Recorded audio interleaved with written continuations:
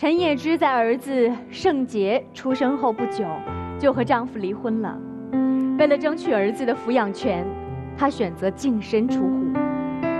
可是陈叶芝怎么都没有想到，就在盛杰上小学一年级的时候，班主任突然找到他说：“你们家盛杰从来不跟任何人说话，而且每次考试的时候，次次得零分。”陈叶芝一听，赶紧带孩子去做了专业的智力测试。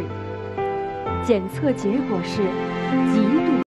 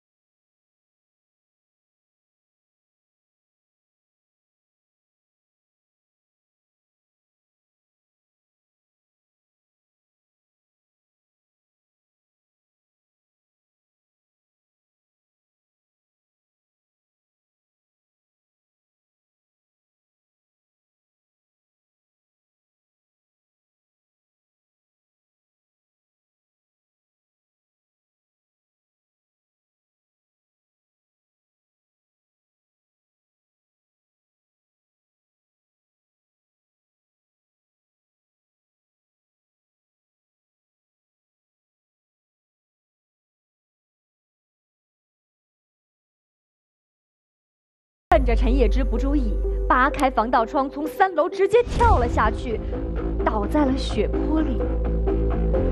这次事故，医生往圣杰的两条腿里打了十二根钢钉，但最严重的是，圣杰被确诊为重度精神疾病，极度弱智，重度精神疾病，面对接连的打击。陈叶芝虽然伤心欲绝，却并没有倒下。她告诉自己，作为妈妈，我应该给儿子做一个好榜样。从那以后，为了弄清盛杰的极端病情，她接触了心理学，学会了如何和盛杰更好的相处。为了纠正盛杰握笔的姿势，陈叶芝带着他一起学钢琴。